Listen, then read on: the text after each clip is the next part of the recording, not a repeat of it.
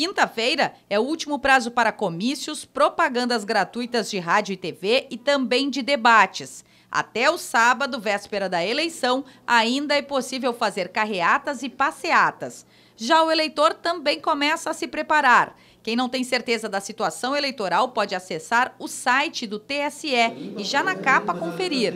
Outro modo é baixar o aplicativo e-título, que serve para consulta e também como documento no domingo. Que permite o eleitor ter a sua a segunda via do, do, do seu título eleitoral e se porventura ele já fez o seu recadastramento biométrico, ele também supre, não precisa de nenhum outro documento com foto para ir votar. Ele já é a identificação porque ele traz a, a, a, foto. E, além disso, ele tem umas outras grandes funcionalidades. Ele indica o local, tem o endereço aonde o eleitor vai votar, onde é a sessão, ele tem já o referenciamento, ele pode, inclusive, levar o eleitor no local de votação.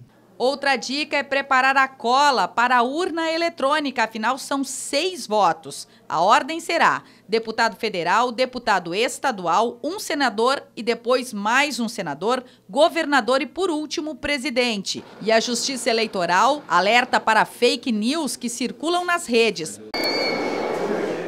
Não existe eleição parcial. Cada voto é independente. O eleitor tranquilamente pode votar para deputado federal, pode anular um outro voto que, que, que queira, que porventura queira anular ou votar em branco, votar nominalmente em algum candidato ou na legenda num outro cargo em disputa.